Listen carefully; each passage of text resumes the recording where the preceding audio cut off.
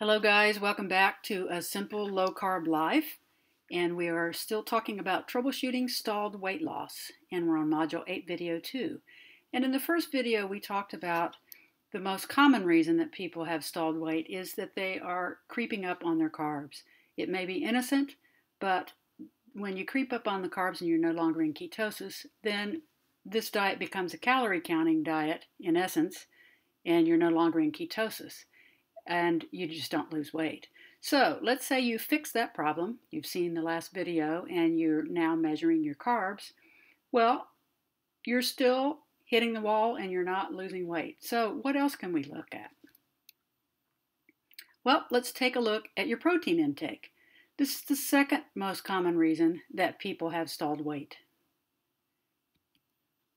Now remember this easy method to calculate your daily protein amount. Okay, so if you weigh up to 200 pounds or 91 kilos of weight, then you can average 100 grams of protein a day and need to average that. If you're between 200 and 300 pounds or 91 to 136 kilos of weight, then you need to be eating an average of 120 grams of protein a day. And again, this is all divided up into at least three meals and up to five or six if you're eating uh, more frequently. If you weigh 300 to 400 pounds or 136 to 182 kilos of weight, you can go up to 140 grams a day and average that. If you weigh more than 400 pounds, essentially you add 20 grams of protein for every 100 pounds of weight that you um, add or that you, that you weigh.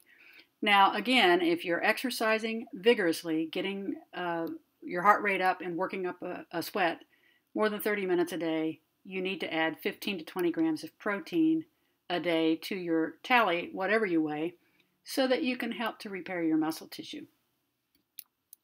Now that we've got that down, kind of uh, look at how you're eating and think about this. Are you eating too little or too much protein? They both have their problems. You need to keep protein rather constant. So, under eating protein, what happens when you don't eat enough protein? Well, many diets that are calorie counting and a lot of other diets uh, essentially do not factor in keeping your protein at a moderate level. So, what happens when you undereat protein? Again, this is a review of what we've gone over before in previous videos and in the guidebook. But if you're not eating enough protein in any form of weight loss, muscles will waste during weight loss, along with fat, even in the ketogenic diet. So that means if you're not eating enough protein to replace the muscle that is being lost, you'll have a net loss of muscle. And when muscle wastes, that determines your metabolic rate at rest. So if your muscles waste, you will burn less calories at rest, which in essence means you have to eat less in order to lose weight. You're also going to feel fatigued. People often describe it as almost feeling flu like. Uh, you will literally be starving yourself if you're not eating enough protein. And your weight will stall, or alternately, you'll gain weight just from undereating protein. So let's not do that.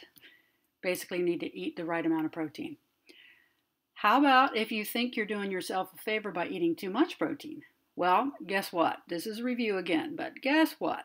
Your excess protein that the body doesn't need Instead of being stored as fat like carbohydrates are, this will simply just turn to glucose or sugar. And then your blood sugar goes up and it gets converted then to fatty acids because now it's sugar and then it's stored. So your blood sugar goes up, weight stalls, and you may even gain weight. And this process is called gluconeogenesis. It happens when we either eat too much protein that the body can't use, or if you need some glucose for some very uh, significant activities, uh, and you have some glycogen stored in your liver, or if you don't have any stored in your liver, you need some ready sugar, then the body will make glucose essentially out of your muscle by this process, gluconeogenesis. So we want to avoid gluconeogenesis occurring. So again, you eat too little, too much, it's a problem. Well, how do you know how much protein you're eating? Again, here we are back to the same mantra track your proteins and measure or weigh so that you know how many proteins are actually in what you're eating. So, are you tracking the amount of protein that you're eating accurately? And are you absolutely sure of your serving sizes? It's so key to do this, and I will say this over and over, but people who do not track and measure do not lose weight regularly. They just don't. Because you can't have any accurate idea of how many proteins, how many carbs, how many calories, etc. you're actually eating. And if you are under or over on protein, you see the problems that occur. If you're over on your carbohydrate amount, you are no longer in the fat burning state. So, really key to track and measure. It sounds like it's a pain in the butt to do, and it, it may be for a lot of people at the beginning, but if you do it regularly, you have a good idea of it. You might not need to actually measure every day unless things start to go awry and you forget what the, the measurements are, and then you revisit measuring again. A lot of people can get by with not measuring every day once they're very skilled at this, but that's usually one or two months into your weight loss. And everyone pretty much needs to revisit it uh, at least one week a month because we cannot keep in our mind, most of us can't, exact sizes. I mean, we're just not wired that way. So, again, if you're not measuring, then you're guessing.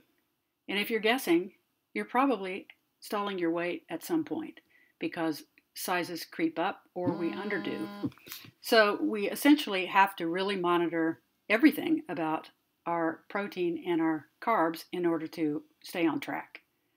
And again, everyone creeps up on their serving sizes, uh, usually innocently, because of the ridiculously huge portions of other people's plates, for one. And although this may be innocent, it does impact our weight loss efforts. So remember, in general, if you don't carry a scale around with you, and who would, uh, to measure your food, one ounce of animal protein averages about seven grams of protein. So if you are in a restaurant and they're serving you um, steak, for example, they usually tell you how many ounces it is and you usually order it that way. So um, most restaurants now are required to put nutritional labels, at least in the United States, in most states. Uh, and so you can get an idea of how much something weighs and then multiply that by seven if it's meat. And then you can uh, get an idea of how much protein uh, you have in that uh, serving. It's not true for every meat, but in general, it is an easy guide to use.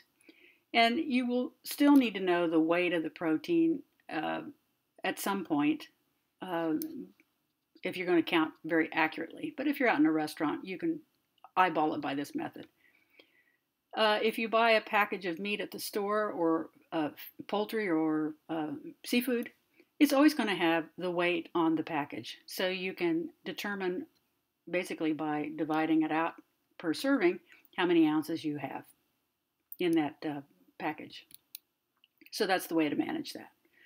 So again, a reminder, track your protein amount and carbohydrate amount in grams for everything that you eat with the tracking method of your choosing, but do it faithfully, especially for the first month. After that, when you feel like things are creeping up and your weight is stalled for a week, go right back and revisit the tracking.